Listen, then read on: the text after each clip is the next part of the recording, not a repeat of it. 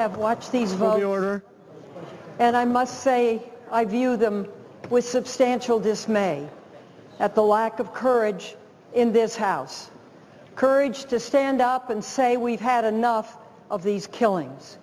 We've had enough of the development of highly militarized kinds of weapons It's not in order. that Senator from California. We have had enough of the development of highly militarized weapons, easy to shoot, big clips, 100 plus bullets in each, large velocity guns falling into the hands of grievance killers, juveniles, people mentally disturbed. There will be no background checks apparently, and we have a pro- pro- proliferation of these weapons. I have a hard time understanding it. We're here on six-year terms for a reason, to take votes on difficult issues. Everything needs 60 votes today.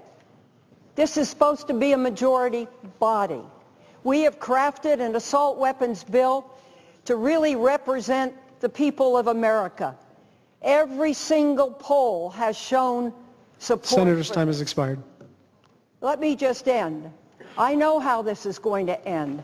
And the despair and the dismay of families standing out there whose safety we need to protect and we don't do it. I am really chagrined and concerned.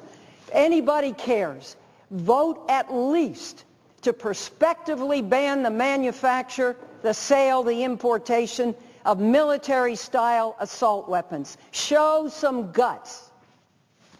Thank you. Mr. President.